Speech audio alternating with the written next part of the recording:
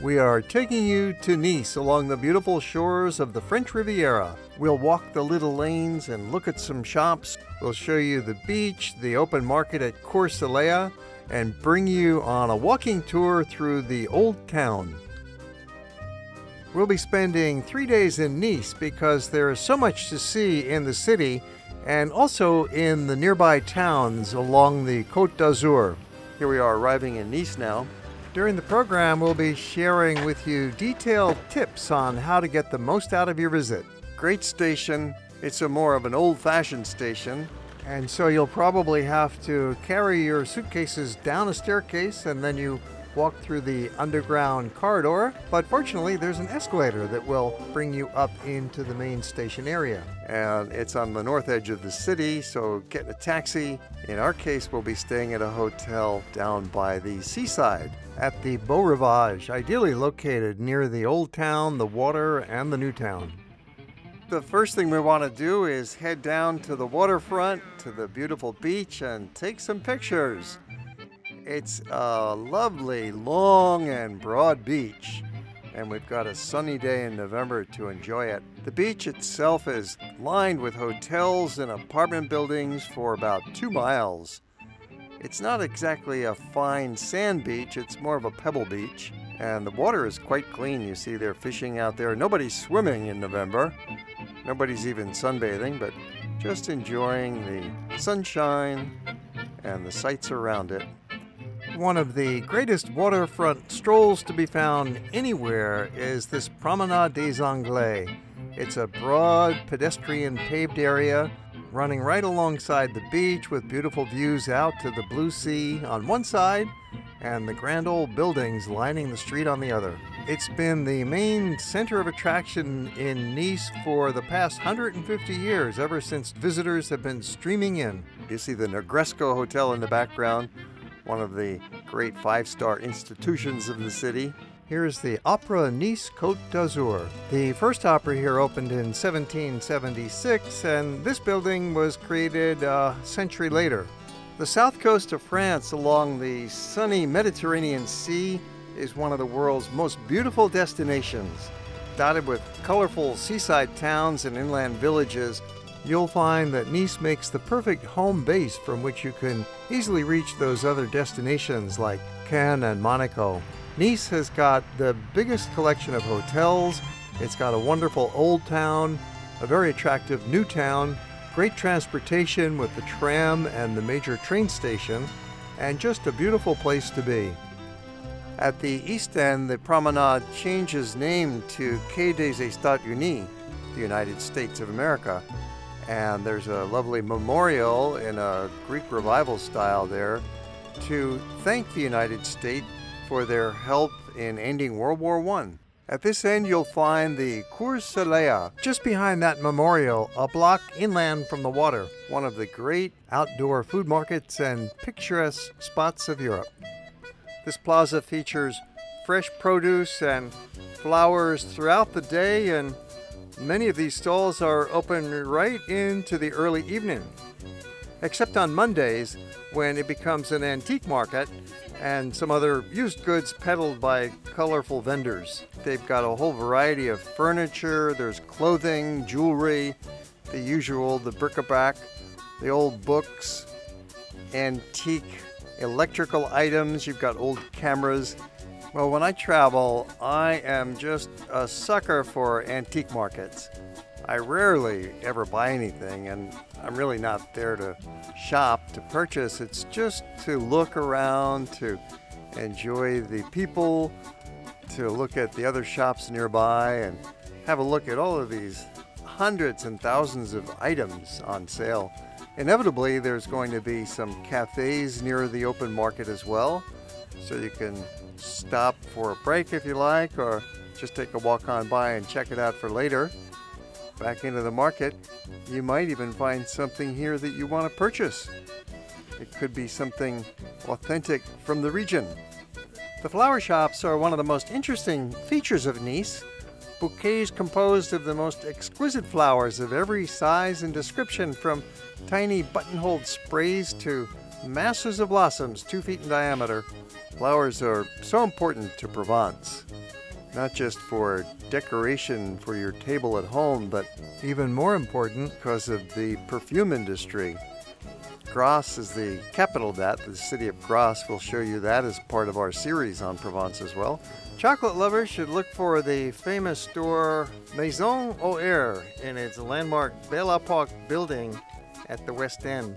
The most famous artist who lived in Nice, Henri Matisse, lived right here at the Cours in that yellow building at the far end of the plaza. He had a great view out his window, which he depicted in many paintings. He moved to a larger mansion now converted to the Matisse Museum.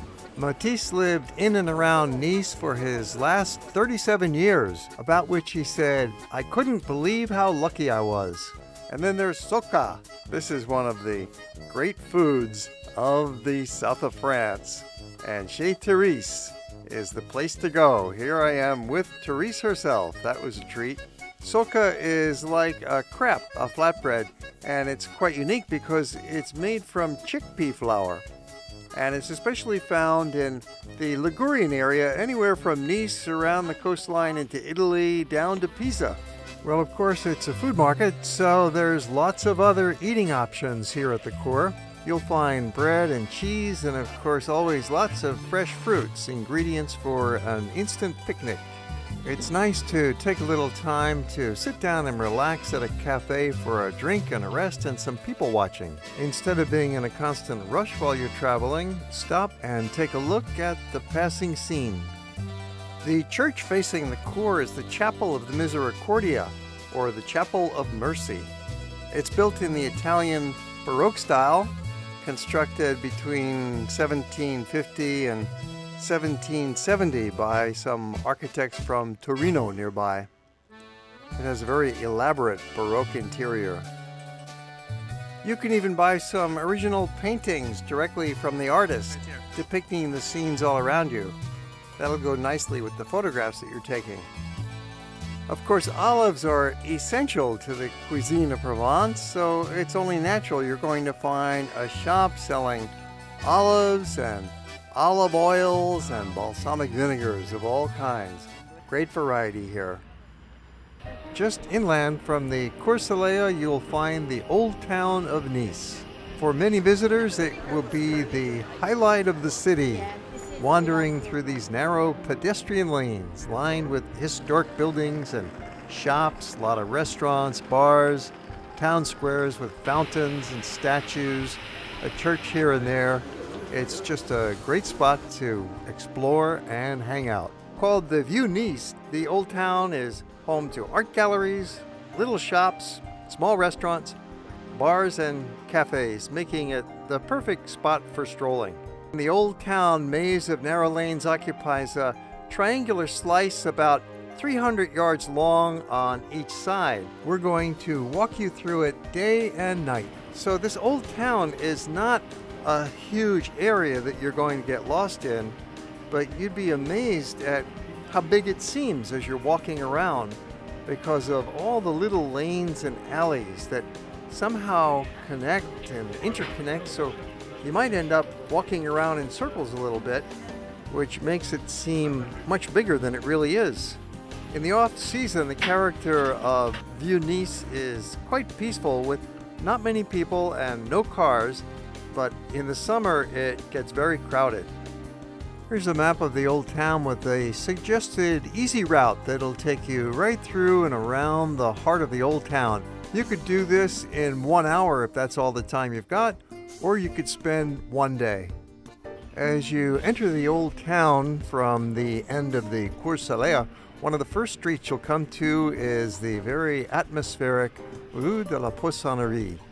And this has got more of the shops and restaurants that you'll find throughout the old town. The old town of Nice has a special charm that you just don't find in the rest of the modern city. So you really want to focus a lot of time in this fascinating pedestrian zone on the east end of the waterfront. And we'll point out a nice way to navigate through this labyrinth to get you in and around and show you the main highlights. There's a couple of main lanes. There's Rue Droit that'll take you right through the center of the old town. and then you take a left and walk along Rue de la Boucherie, and that'll bring you down to the Place du Palais and then back to Cours Saleya. So it's kind of a round trip right through the town, and feel free to wander up these little side lanes. The Old Town consists of narrow labyrinths, not really streets, more of a maze with blocks of shops of every kind along these narrow twisting lanes. If you come in the summertime, it will be a lot busier, so you take your pick. We suggest that you might visit during the off season instead to avoid the crowds and enjoy the cooler weather. Europeans crave that brief summer sunshine, so work around their schedule and come between November and April when the weather is still wonderful You'll be wandering this way and that as you meander through the old town, but you'll always come back to Rue Droit, which goes like a straight line through the middle of the old town. It's a good axis to get your bearings, to go out to the left, go out to the right, and then come back to the central spine.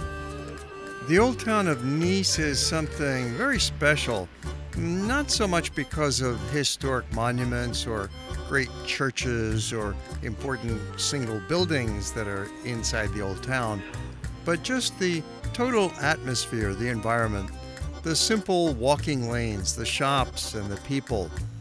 There's actual locals living here, their kids are out playing, the residents are upstairs looking down from their windows, and you really get a feeling of community here, of authenticity especially in the off season when it's not too crowded with tourists walking through the lanes. That helps quite a bit too. Typical example of a staircase street. It branches off from Rue Droit. This is Rue du Malonat, and there are several of these side lanes that go up the hill. They're a regular street down on the flatland, and then it goes up, so there's no cars and, well, a few scooters perhaps, and motorcycles and bicycles, but Largely, we're entering a pedestrian zone, a typical local residential neighborhood. It's interesting to see here the working population at home. Comfortable, affordable housing in the middle of the city. Another steep lane, Rue du Chateau, and there are several. These lanes are some of the most picturesque streets in town. But don't worry, you don't have to climb them. And if you don't feel like walking, you can take this little tourist train on a route that will bring you through the old town and then up onto the hill for a view. Most of the shops in the old town are independent and unique. You've got boutiques, you've got crafts, you've got all kinds of great browsing to do. So different than modern shopping malls. You'll find souvenir shops with the typical Provençal items, especially the colorful fabrics and the pottery. There's also lots of food in these stores. Go for the cookies, maybe. We're just strolling along together. This is part of our visit to the south of France. A small group of us traveling together and sharing in the sights. We especially enjoy the local cuisine of this casual restaurant. They specialize in crepes and soca and salads, and that's really all you need for a very nice lunch. Crêperie Bretonne, and the friendly couple running the place really made us feel welcome. They are the owners, the cook and the waitress, and the food was delicious. You might be surprised at the variety of crepes on offer and that soca. And then we continue wandering about through this endlessly fascinating maze of lanes. The Palais Lascaris is the largest civil Baroque building in the Old Town and the region.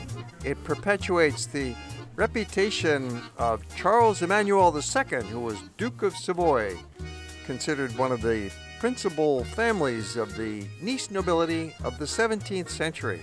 The palace is influenced by the Genoese Baroque and unites a set of 17th century embellishments and some changes from the 18th century. The building encloses two small courtyards uh, on which, by arched bays, open up a monumental staircase. This lobby is free and open to the public. Rue Rossetti is another one of these picturesque steep lanes coming up from the old town. Notice the sidewalks are staircases. In this case, there is a little road, one lane road down the middle, and local folks hanging out. Rue Rossetti is just a few blocks long, but changes character several times along the way from the hill swooping down, and then it leads into Place Rossetti, kind of an Italian style architecture as you find throughout the old town. And this is a great gathering spot. We'll show you more of this place in the evening. You can see on the map how Rue and Place Rossetti are right in the middle of the old town. Very easy to find. Another major gathering point in the old town. You'll find here bars and restaurants, little shops. There's a fountain and cafes and this Italianate architecture of the old pastel colored buildings around the place. Because of its central location with so many roads going through, you'll probably return here a few times during your visit. The Cathedral of Nice is located on this square. It's Cathédrale Sainte-Réparate, and this is something that could be in northern Italy. It's beautiful with these colors and the Baroque styles. It was built during the second half of the 17th century, a time period when this area was more Italian than French. The interior of the church has 10 chapels with a floor plan in the Latin cross that was based somewhat on the church of Santa Susanna in Rome. Typical of the Italian Baroque, it's highly decorated, many paintings and architectural flourishes. At twilight, the beauty of the building is at its best. In fact, anywhere you go at twilight, it's a wonderful experience. Here in the old town, you've got that ambient lighting on the buildings and shops, and we're going to take you around through the same places daytime and nighttime, give you that contrast. Walk along Rue de la Boucherie to find uh, the other great focal point, Place du Palais de Justice, which retains an Italian feeling that once permeated the entire town. It's got French sidewalk restaurants serving crepes and wine, and a neoclassical courthouse looking like a Greek temple. It is definitely worth visiting in the daytime when it's quite busy, and then again in the evening when it's even more busy. This Justice Square with the courthouse looming above has got very popular restaurants all around it and in the nearby lanes. Draws a lot of people. Quite close to Place Rossetti, it just takes a few minutes to walk over here from practically anywhere in the old town. It's very safe walking around in the evening in this old town area, especially on the main lanes where you've got the shops, there's people, Everybody is out and about, as long as you're out there at a reasonable hour from twilight right on up through the end of dinner. The social life here at the Place du Palais de Justice is even busier at night than during the day. In fact, so popular that at 9 p.m. many of these bars raise their prices.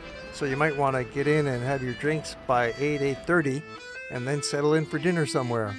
Of course, the hour of sunset varies considerably during the year. For example, in December, it gets dark at 5 p.m., and in the middle of June, gets dark at 9:30 p.m. Either way, you're sure to enjoy an evening stroll. We'll continue our look at Nice in the evening later in the movie, but now we're going to bring you downtown the next morning after breakfast at our hotel. In this case, we're staying at the Beau Rivage Hotel, a delightful spot right down by the waterfront next to the old town in Cours Saleya. Very convenient location.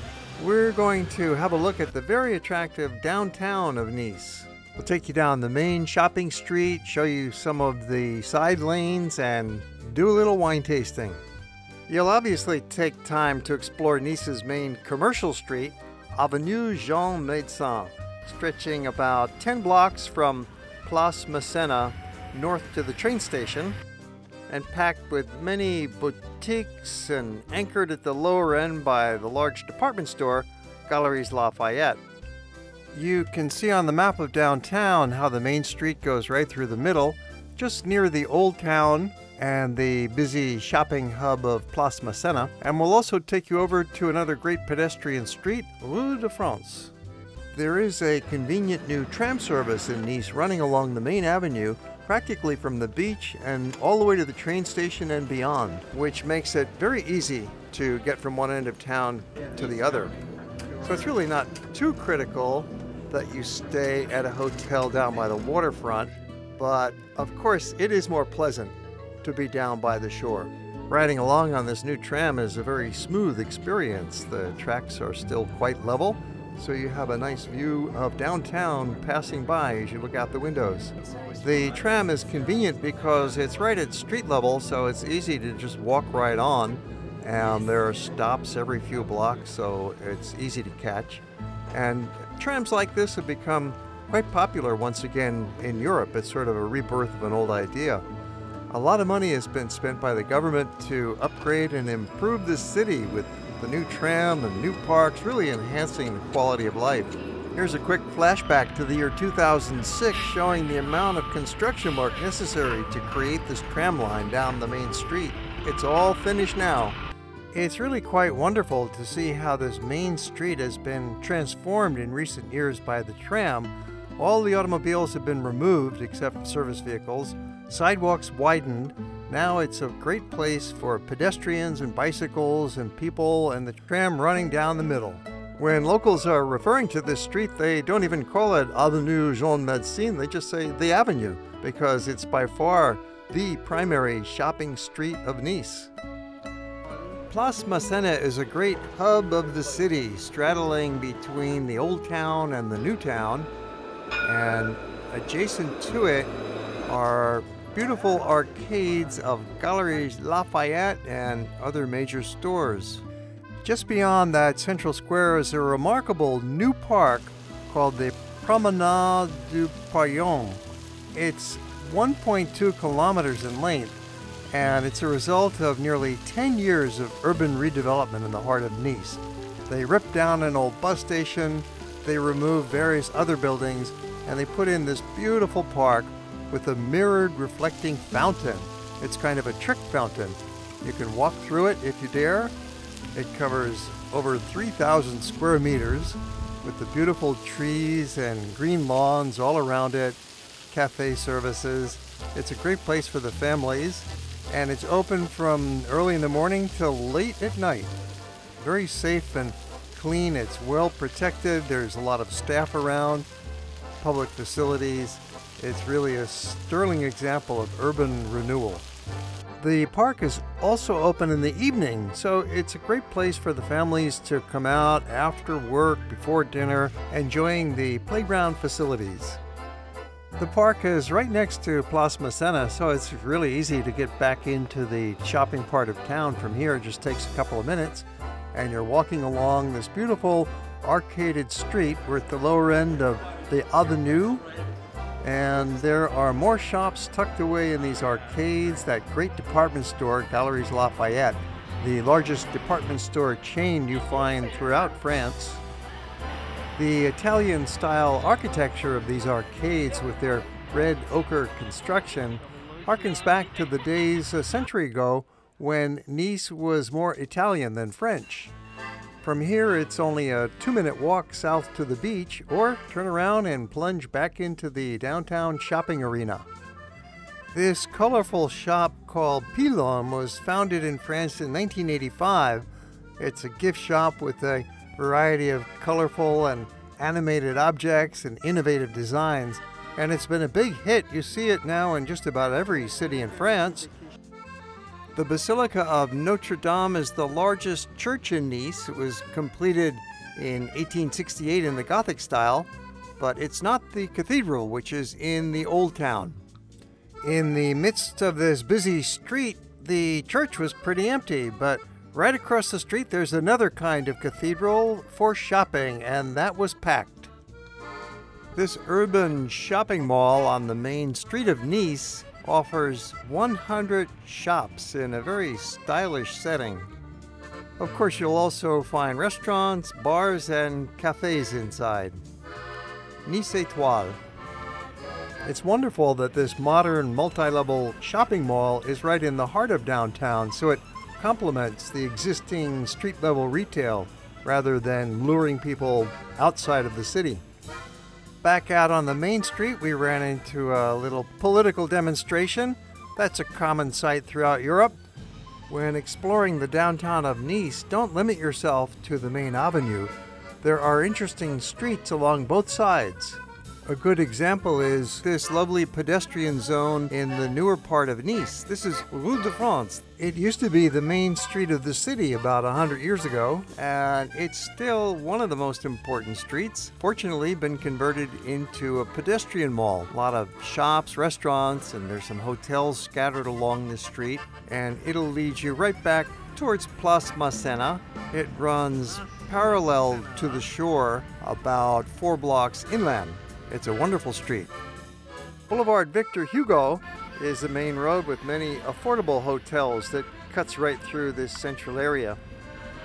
This is the kind of really local and authentic neighborhood that's often overlooked by typical guidebooks and video tours, but this is really part of the heart and soul of Nice. This is where locals hang out, where they go shopping, where they get a bite to eat, go to the cafe, have a beer, which makes it a good place for shopping and for people watching. It's so amazing how these pedestrian streets have transformed the cities of Europe. Just a decade ago, these kinds of streets would have been filled with cars and trucks and pollution and noise, and the movement swept through the continent to convert these little streets in the heart of the town into pedestrian malls. But over on the east side of downtown, they still have streets with cars and narrow sidewalks, and it's exciting. It's a hustle bustle neighborhood. Again, not many tourists over here, but you should come over and take a look just a few blocks east of the main avenue. You've got lively streets and shops everywhere, sidewalk cafes, views back at Notre Dame.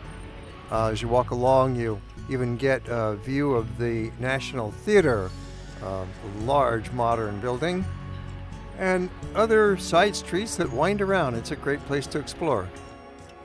There's a wonderful Matisse Museum located in a park slightly away from the center of town, a little too far to walk to, but you can easily reach it by public bus or just take a taxi. Matisse lived in the city of Nice for many years and created some of his finest paintings here.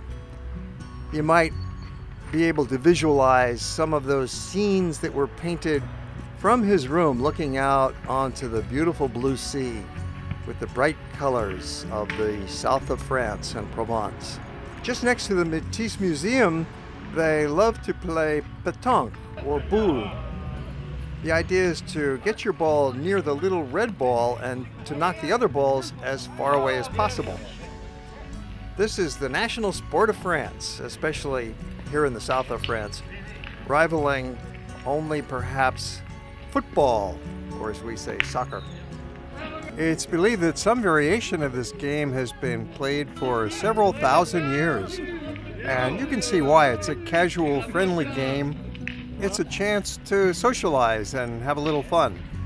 Next to the Matisse Museum are some major Roman ruins a small amphitheater, housing foundations, and a small archaeology museum that remind us the Romans had a major presence here 2,000 years ago.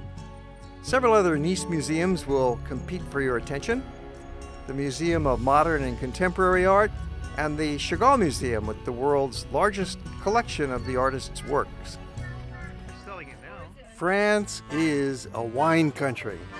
There's no question, France produces the best wine in the world. And there's something special about it. It becomes a ritual. In the case of the Beaujolais Nouveau, it's an annual event on the third Thursday of November every year. It's the official release of Beaujolais Nouveau, which is a fresh, young wine. In fact, it's in the bottle eight weeks after it's been harvested. So it's very fresh and very young. And it's kind of a pink purple color. And frankly, it's not the best wine of France. It's kind of raw. You can get much better Bordeaux's that are aged for five or ten years. But this is a fun thing because the wine shops celebrate with the release of Beaujolais Nouveau with free tastings. So people come down and line up on the sidewalk and gather around and Oh, this is great fun. Free wine. It's a national holiday of sorts. Celebrated around the world because these cases and container loads are shipped everywhere. And it's a special day when Beaujolais Nouveau arrives. They sell a million cases of this Beaujolais Nouveau all around the world. Half of it is consumed within France. It's the biggest wine party ever on the day that it's released. A wine that's that uh, that that has been harvested. The grape has been harvested this year in September, and so it's a great party every year in France. The day, the third Thursday of every November, comes out the Beaujolais Nouveau. These are the new ones. This is the new one, so it's vintage 2013, as it says in the bottle. And so forbidden by the law to open it before today. So it's a. Uh, Oh, really? Uh, oh yeah. Oh yeah. Why not? Better not. Has it been a good year? 2013? I think it's been a good year. 2013, it was a good year. Very good. It was 2013. Banana, raspberry, strawberry, even sometimes. And um, so that's that's a classic Beaujolais Nouveau. So today is Beaujolais Nouveau Day. Yes, I like it. It's a good, good year. Yeah, it's a good year. Thank you. The old town of Nice is especially lovely to walk through at night. The shops are open, the restaurants are open, and people are out for a stroll. The pedestrian zone here is not just two or three streets without cars, it's an entire neighborhood, covers a vast network of lanes and alleys. And during the off season, it's mostly for locals. Appreciate this intersection if you would for a moment. Here we have three pedestrian lanes coming together. We've got Rue Droit, Rue Collet, and Rue Françoise, all crashing together in this wonderful little spot surrounded by cafes and shops and people. The Old Town is perhaps the most interesting part of Nice, fascinating for its labyrinth of narrow streets, picturesque and animated peoples and buildings expressing something Italian in their general character. Now it's early evening, which is a magical time to be out strolling, of course, with the twilight and the shop lights. Very safe, very friendly, lovely place to stroll. And in the evening, the old town is alive. The shops stay open, especially in this tourist area. The shops are open till 9 p.m., some of them even later. Many of them do close in the afternoon for siesta. We are in the south of Europe and they follow that traditional custom. So it might not be best to stroll here at 1 p.m. or 2 or 3 o'clock. A lot of these stores are closed, but they'll be reopening at 3 or 4 o'clock. Rue du Collet is one of the main lanes of the old town. It'll change names a few times up ahead, and it just wanders, it meanders. It's not quite straight. There's a little bit of a curve here and there. You've got some cafes, you've got tourist shops, you've got local shops, and people out walking, especially here at twilight. This is perfect. As you walk along Rue du Collet, you will soon arrive at this little intersection. It's a charming spot where three lanes come together. It's called Place Centrale. And at this little place, it's a simple little affair. You've got a little restaurant that sells the socca and other Niçoise specialties. You've got a cafe on the other side. There's a little food market here. You can buy some gadgets and gizmos. This fresh produce market's fun. You can shop for some clothing. All within an arm's reach of this Place Centrale. A few hundred years ago, this was already a very old part of town and had become somewhat run down and dilapidated. And it's really just in the past century, it's come back to life again. So there's a beauty in this old town of just simply walking. Now, it's often overlooked, for example, in guidebooks or in historical memoirs, or even dismissed as a place that's kind of dark and narrow and congested, but uh, it really deserves to be front and center when you come to visit Nice. It's what makes the city so very special, along with the beachfront, of course, the marvelous white, broad beach and the promenades down by the Mediterranean Sea. The modern downtown certainly is lovely. You'll want to be sure to also visit that downtown area. But these little back lanes are really something special. And yes, there are plenty of art galleries along the way. You might even get a chance to meet the artist himself. Usually they're inside and maybe doing a little bit of painting. It's like a street side museum of contemporary art. This is art that's very much up to date. It was just created yesterday. There are several especially picturesque intersections here in the old town where the lanes come together and merge with beautiful lighting at night. And then as you keep walking along Rue du Collet, it changes names and becomes Rue de la Boucherie, same street.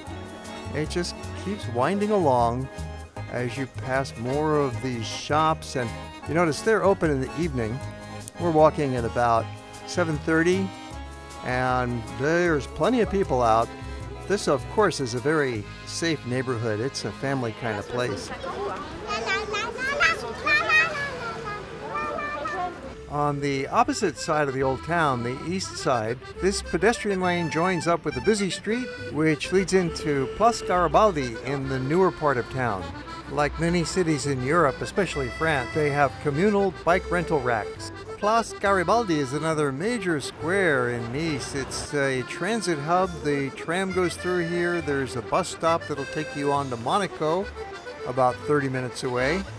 This place has recently been renovated and upgraded. It's looking beautiful, and it's named after Garibaldi, who was born in Nice. He was the great unifier of Italy, which used to own this territory until the end of the 19th century. This neighborhood is quite lively because people live here. Most of the upper floors in the old town are residential apartments with full time residents, and that gives it a, a, real home quality. You see, the life in the streets here is what modern major urban centers are trying to recreate, trying to strive. Real streets with real people living out their daily lives. And it's on a human scale because you don't have skyscrapers, you don't have massive structures all around.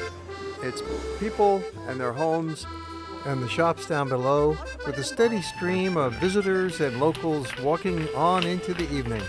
We're going to take you on an extended evening walk through the old town at the end of the program. But for now, we're taking you to an evening viewpoint to watch the sunset along the shore and then up to the top of Castle Hill for a spectacular view looking down over the town. To get this view, you walk along the east end of the waterfront promenade on the Quai des Etats Unis, and to the end, you'll have this rocky outcrop with a terrace with a commanding view looking back along the pebbly beach of Nice. The view gets even more spectacular when you go up to the top of Castle Hill, or as they call it, the Chateau. Here's a quick view from Google Earth showing how the hill of the castle towers over the old town of Nice and the city beyond. The easiest way to get up to the top of this hill is take the elevator. You pay a small fee, it's about one euro, and it's well worth it. Otherwise, you've got to walk up a huge staircase. It's the equivalent of going up over a 100 meters high. So it's really way up in the sky. You don't want to walk it if you can avoid it. So take the elevator. It's quick, it's simple, especially late in the day like this. There's no crowd, there's no line, and you come out on top and start enjoying the view. And right away, you're looking down on the old town and the Cours Saleya. There's all the booths getting ready for the next morning's market. There's a map posted to help you find your way to locate viewpoints on both sides, but it can be a little confusing. There's no signs on the paths. You want to go up this unmarked staircase. Don't go straight on the main lane because that does not bring you to the top. And you can walk up a little higher This little small child can make it. Oh, it's a big climb for this little girl, so that shows you can do it no problem. So keep walking when you get up to the top. They even have a waterfall. It's an artificial waterfall that was put here in the 1830s to help attract the tourist nobility from England and the rest of France to come on down and visit Nice. The shoreline view gets even better as the night lights come on. While you're up on the hill enjoying the town view, be sure to walk to the other side of the hill for the harbor view. And there's a beautiful green park in between. Looking down from the other side of the hill, you see the small boat harbor called Port Lympia. And in the distance, Cap de Nice. It's believed this Castle Hill was the site of some of the earliest settlements in the area. They lived up here for self defense. In very early times, the Ligurians, who were the first inhabitants of Nice, had their dwellings up on the rock of the castle. And later, it's probable that the earliest Greek settlers lived there. But as times became more settled, they began spreading down onto the plain and the old hill town became a mere fortress to be used in time of need. And a fortress it remained, developing as centuries followed each other into a great and impregnable castle. Another way to get up here and back down is on the tourist tram. If you have the patience or the proper timing to stick around for the late sunset, it reaches the visual peak. This is really grand with the lights blazing down below, the golden sunset off in the horizon. This makes for one of those travel events that you will just never forget. And when you're done, you can take that same elevator ride back down again, timing it so that you get down before the elevator shuts for the evening. Or you could walk down, it's not as hard as walking up, but so much easier to just simply ride the elevator. Now we're going to take you on a walk through the old town of Nice at night. It's a very special time to be here. Shops are still open until 8:30, 9 o'clock, depending on the season. Restaurants and bars, cafes, of course, go well into the night. There's always lots of people around, so it's a friendly and interesting place to roam. This old town is so attractive that just seeing it during the daytime, which you've probably already done, it's not enough. You want to come back and enjoy it once again at night when it looks like a different place with this special twilight ambiance. Depending on the season, it might be this dark at 6 p.m. in the winter, for example, or at 9:30 in the summertime. Either way, that period just after twilight is the most magical time to be out. You've still got a little bit of lingering ambient light in the sky, and the shop windows are on, the street lights are on, and it's very lively. Walking through these narrow, dark lanes illuminated by shop light and livened by people passing by makes you feel like you're in one of the dream places of the earth. You have to give Nice time and get out of your rut before you awaken to its unique characteristics. And then, if you detach yourselves from the amusement seekers, the time killers, the apathetic, the bored, and the blase tourists, you begin to realize that the metropolis of the Riviera is a world in itself, a reservoir for exploration and reflection. Nice is the largest city along the Côte d'Azur, and with a population of about 1 million, it's the second largest French city along the shores of the Mediterranean after Marseille. Makes an ideal home base for seeing all of the sights along the coast. It is one of the most beautiful places and offers a large number of hotels and restaurants in all price ranges. Nice is centrally located with excellent rail and bus services that connect all of the towns along this coastline. And as we are walking along through the lanes here, there's not really a lot to describe. It's mostly interesting visuals, just seeing the shops and the people, the old buildings, the architecture, and it does bring to mind the very old history of Nice. So as we walk along, let me just reflect a little bit and tell you some about the very long history of this city in the south of France. 3,000 years of history boiled down to three minutes. Several hundred years ago, nearly the entire population lived in the old town. That really was the entire city. There was a few people living up on the hill, and a few around the bend over by the harbor, a few houses scattered, of course, up in the hillsides in the interior, but one could imagine that at least 90% of the population was clustered right here in what is now the Old Town. Well, the history of Nice, you can imagine, is very long and tangled up with a lot of warfare and a lot of different tribes of people coming through because Nice has always been on a frontier. Even today, it's very much close to the borders of Italy, and being on the Mediterranean, it's really a frontier with the north coast of Africa as well. And this has always been the case for thousands of years. It's been a crossroads. The Riviera first enters into the actual historical period about six centuries before the birth of Christ with a group called the Phocaeans, who came ultimately from Greece. They were living along the shores of the Mediterranean and were battling with the Persians and ended up over in this part of what is now the Riviera. These early Greek settlers were often harassed by the native Ligurian tribes and so these Phocaeans appealed to ancient Rome to intervene and help them out. And this was in 154 BC. And this is what brought Rome into the picture. And they stayed and occupied the area for the next 500 years.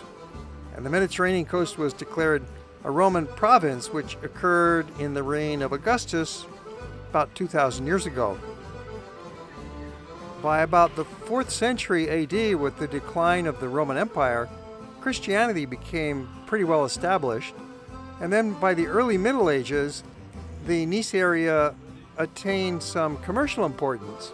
The French Revolution of 1789 affected Nice from a variety of reasons and ended up by making it part of France, which it remained until it then detached from France in 1814 at that time, Nice was once more united to the fortunes of the House of Savoy, a royal family then based in northern Italy, bringing a strong Italian influence to the area.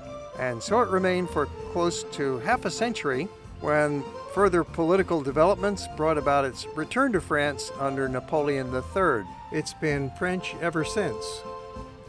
At the same time, in 1860, construction of the railroad was completed and the beginnings of the tourism boom started. Travelers could now arrive easily from all over Europe, and Nice took off as one of the great centers of tourism. After such a busy evening with all that walking through the old town and sampling the Beaujolais, got to get some rest and then up and at 'em the next day. I was out quite early for a walk right after breakfast and was surprised to find so many people out. The cafe was alive, there was customers sitting around. This is most unusual. And the lighting was beautiful. It seemed like too good to be real. It almost seemed like, uh, wait a minute, it is a movie shoot. Yeah, these guys have got their equipment and cameras and they're working hard at about 7.30 in the morning it's almost inevitable if you spend enough time in these beautiful places, you're going to run into film productions. Maybe they're shooting a commercial, perhaps it's an episode for a television program, maybe it's a feature film. There might even be a famous star around somewhere. But it's best just to kind of stay out of their way. You can take a look, you can take a few pictures if you like, but just don't cause any problems. Another surprise this early was to see so much action at a pub. Well, they drank a lot of beer last night, apparently. They've got to restock all those barrels. Well, folks, it's finally time to leave Nice. We've enjoyed a long visit here. We've shown you all around the town, the old town, the downtown. We've also taken you to nearby cities in other movies, over to Cannes and Antibes, St. Paul, over to Vence, Monaco, all around this amazing Côte d'Azur. Now we're heading out. We're taking taxi over to the train station and we will continue on our merry journey to the next destination, which is going to be the Italian Riviera. We're heading for Cinque Terre. It's a pretty long train ride from Nice to Santa Margherita. That will be our base for exploring Cinque Terre and Portofino and other sites of that area. The train makes a brief stop in Monaco, one of the cleanest train stations you'll ever see. We have a big movie about Monaco you've got to take a look at. It's the world's richest country and in many ways an ideal model of urban planning. But that's another story. And then we carry on along the coast with some beautiful views of the Mediterranean Sea out the window. We've got a lot more movies about Provence and the south of France. Take a look at our YouTube channel.